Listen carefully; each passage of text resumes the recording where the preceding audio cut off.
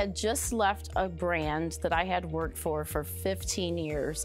And so for me, finding my next venture or my next journey had to be something that spoke to me and my family. I had to make sure that it checked a lot of boxes, and honestly, City Barbecue checked all those boxes for me.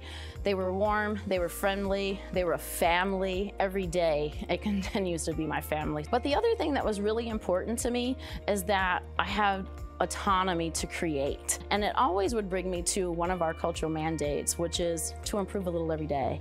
Autonomy made us better.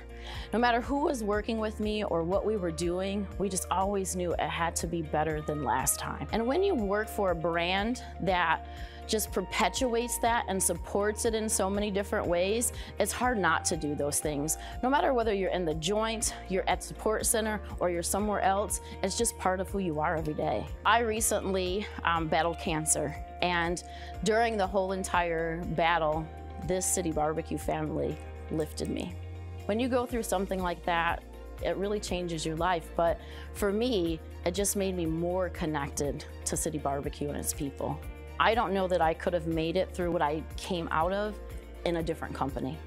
And the reason that City Barbecue was that company for me is because we already had the foundation. And that's part of who we are and what we can do. And going through that, it didn't change any of that, it just strengthened it. If you want to extend your great family already, um, because that's what they are, an extension, come join us.